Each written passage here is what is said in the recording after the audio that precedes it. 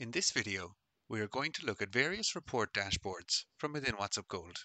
We will take a look at the Home dashboard and the device status reports. We will start by taking a look at the Home dashboard. Navigate to Analyze, Dashboard and Home dashboards. Here we can see that we have six out-of-the-box views available to us. Overview, Top 10, Actions and Alerts, Wireless, Critical Activity, and storage monitoring. First, we will take a look at the overview. The first report we can see here is the current device status. This gives us a quick overview of how many devices are up, down, in maintenance, or unknown. We can click into each status, which will bring us into the monitored network, filtered by the selected status. By default, the report is filtered on all device groups, but we can break it down by individual group if necessary.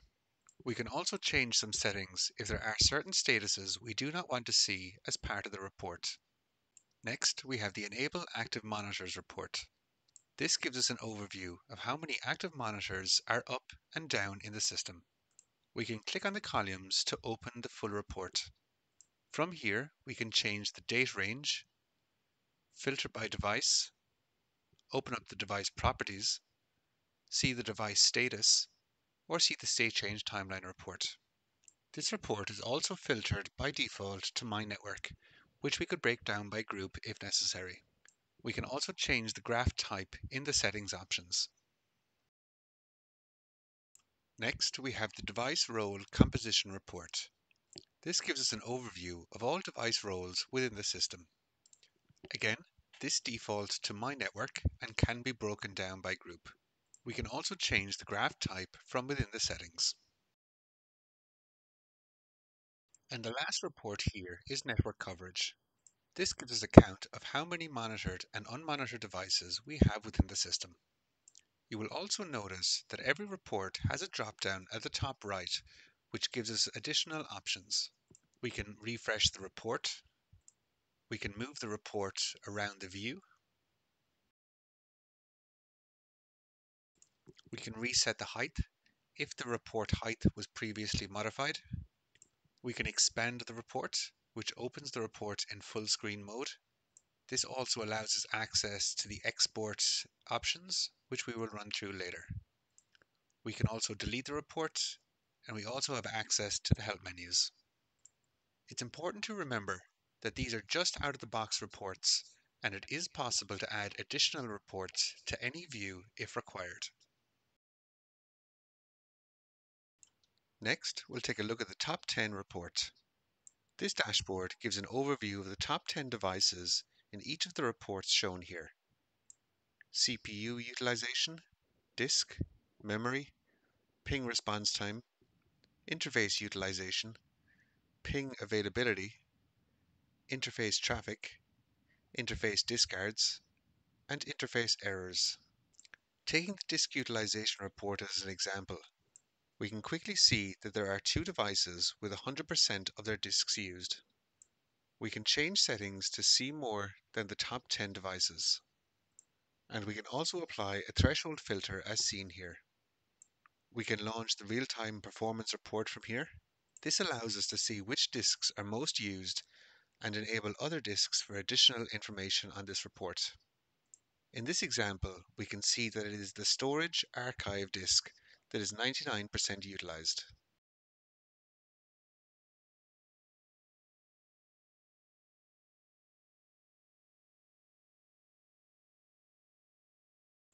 We can also change some additional settings in this report. And we can also change the report type if we wanted to change, for example, to real-time CPU data for the same device. The next report we will take a look at is Actions and Alerts. This dashboard shows us action fired reports, completely down devices, and down active monitors.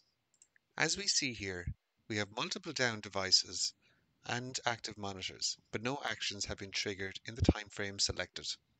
Perhaps this is something that needs to be investigated if devices and active monitors are going down but no actions are being triggered.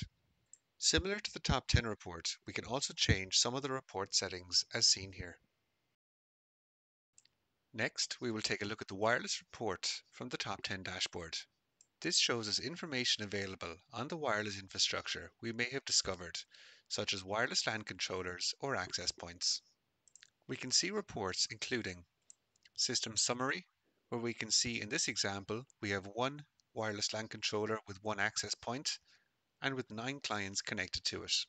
We have the bandwidth summary report, wireless rogue count, the wireless bandwidth report, the RSSI or received signal strength indicator report, and the wireless client count. Next, we will take a look at the critical activity dashboard.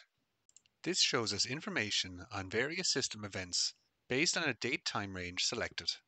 We have reports such as device activity, consolidated log activity, network activity, system activity, APM activity, and discovery activity. Like the majority of other reports, we can modify the settings to change the level of information that we want to see on each report. The last report on this dashboard is the storage monitoring. If you are monitoring storage devices like NetApp or EMC, information about these devices will be shown here. We have reports like free disk space, disk utilization, CPU utilization, memory utilization, and interface traffic. Like most other reports, we can change the settings on the reports to change the information that we see. Also, remember all of these reports are standard out-of-the-box reports and can be deleted or added to depending on the customer's needs. Next, we're going to take a look at the device status dashboard browse to Analyze, Dashboards, and Device Status. In this dashboard, we can see we have four different views. Monitoring, Disk CPU and Memory, Router Switch Interface, and General. We'll start by taking a look at the monitoring view. As the dashboard name suggests, these are device-specific reports rather than a general group overview. In here, we have four reports configured by default. The ping response time, in here, we have the option to click directly into the real-time performance monitor.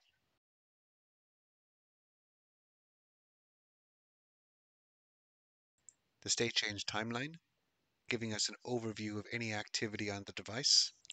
Down active monitors, device active monitor states, and action activity log to see what actions have triggered on the device as a result of the state changes. From the top of the view, we can select which device we want to view information for. And we can also change the date time range. Next, we'll look at the disk CPU memory report. Again, this is broken down by device, which can be chosen from the top of the report. We can see reports including CPU utilization, memory utilization, and disk utilization. We can also open up the real-time performance monitor report.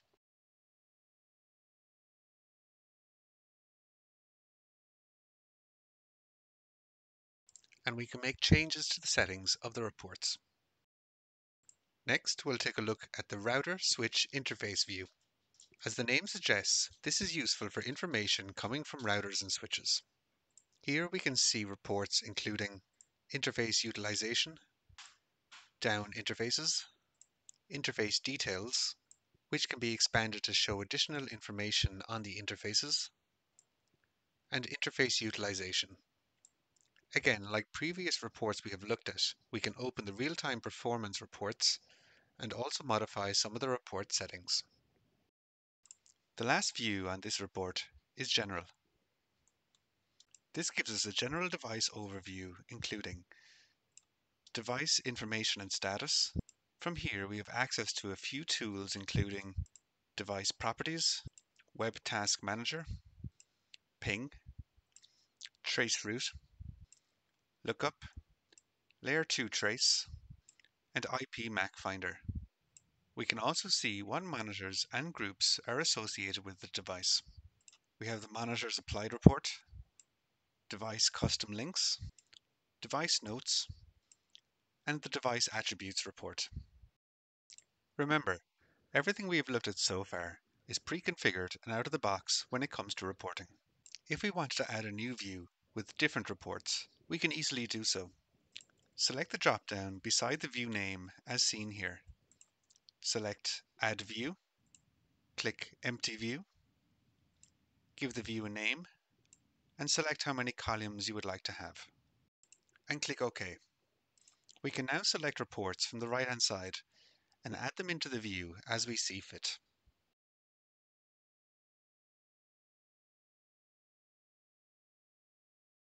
We can add reports into different columns and move them around as we need to.